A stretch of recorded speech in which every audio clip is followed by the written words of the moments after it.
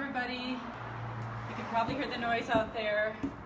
I have a three-day studio tour and I thought I would just give you a quick tour of my studio. I've tried to organize things the best I could and on the outside of my studio I brought out some older work just because I had it in storage.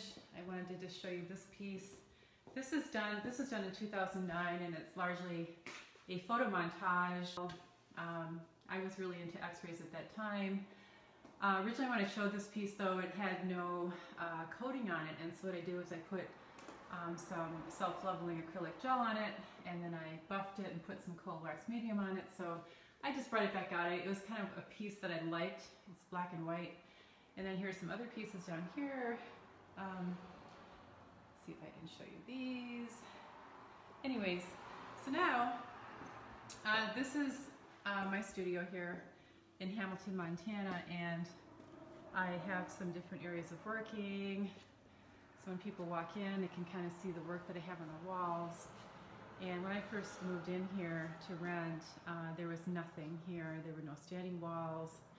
Um, this cement, this wall here was all um, pretty much just cement. So um, yeah, I've got work everywhere, as you can see. I've got some smaller pieces down here and larger pieces on the wall. This wall had to be covered with uh, some wood so that I could pound into it. And here's my workstation here. I had a demo here also recently, so this is set up for my cold wax medium demo. And so just along here, I've got combination of mixed media works and I'm down here, I've got cold wax medium and some smaller work. And right here is my station where I do mixed media. You can kind of see some of the work there, or some of the materials I should say. Brushes and bottles and um, buckets and panels.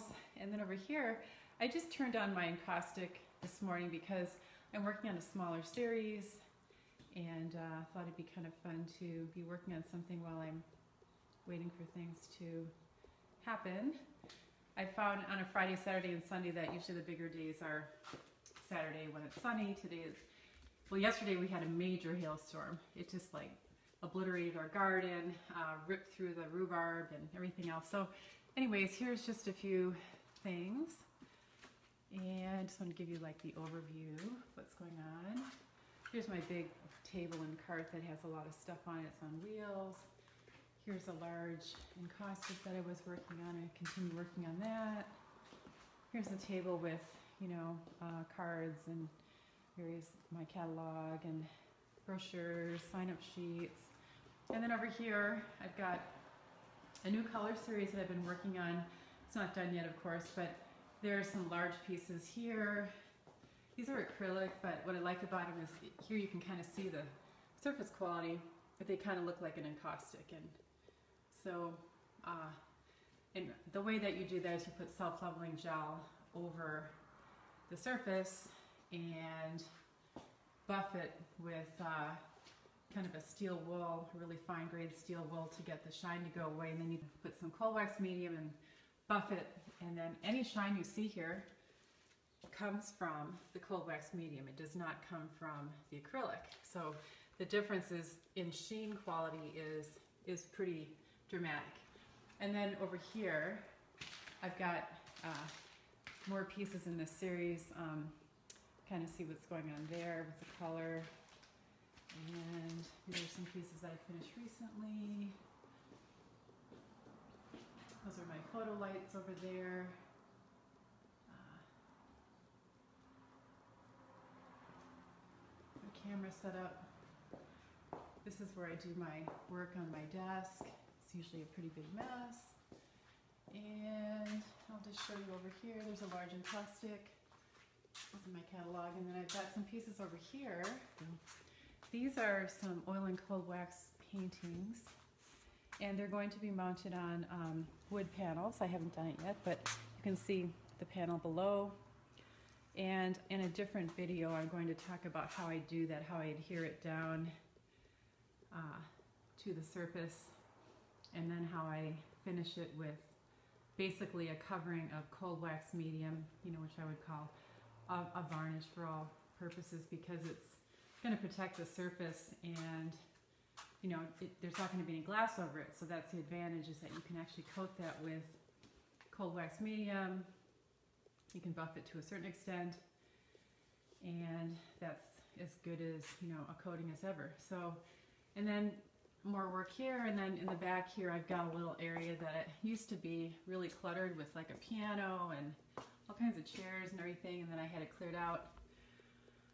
So um, that was a process like everything right?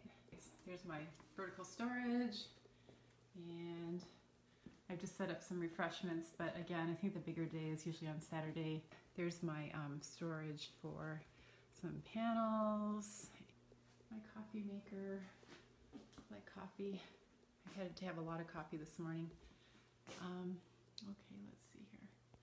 Our dog had, our dog Cornelia um, had an operation yesterday, so she's not feeling very well, and I kind of think I should be home with her. She couldn't come today with me uh, to this, but oh well. Um, I will try and uh, have my husband watch over her. So anyways, here is just, you know, another view, walking around and giving you the grand tour here before people start to arrive.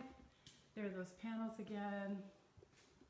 Um, they're basically, what I'm trying to do with these is just make it kind of simple but complex in color. In other words, the whole point of these is to get, I can lift one of these up here, um, and you can kind of see here, it's it's kind of simple in color, but what I was trying to do is layer a lot of colors, warm over cool, and then there are just so many different layers on here.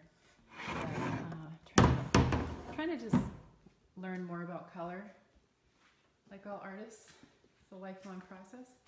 So I guess that's it. I just wanted to show you kind of what, what I have got going on here, and um, thanks for watching. Have a great one. Bye.